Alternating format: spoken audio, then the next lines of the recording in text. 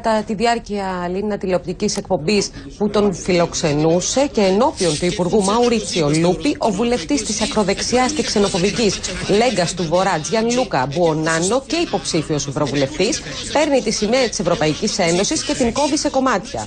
Στη συνέχεια πετάει κάτω κάποια κομμάτια, με τα υπόλοιπα σκουπίζει τη μύτη του, ενώ φανερά εκνευρισμένος λέει: Η σημαία της Ευρωπαϊκής Ένωσης είναι για να σκουπίζει κανείς τη μύτη του.